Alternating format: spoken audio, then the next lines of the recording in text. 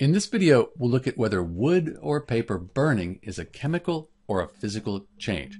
So we have this chart here to help us. When we think about wood burning, one of the big questions we need to ask ourselves is, do we end up with a different substance, a different arrangement of atoms?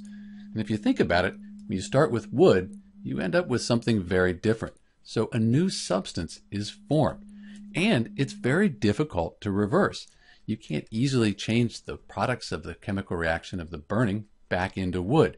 You could over time have a tree grow through a set of pretty complex chemical reactions to make wood again, but it's difficult to reverse. We can see that a new substance is formed in the chemical reaction here. This is cellulose, a component of wood and paper.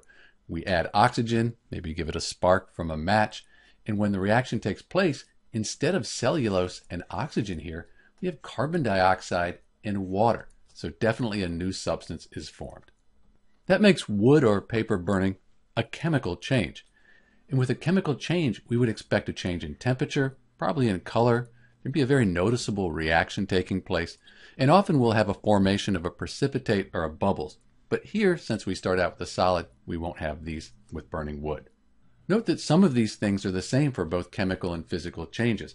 When we have a chemical change, physical changes often take place. Key ideas though, new substance formed, difficult to reverse. So to summarize, wood or paper burning is a chemical change. This is Dr. B, and thanks for watching.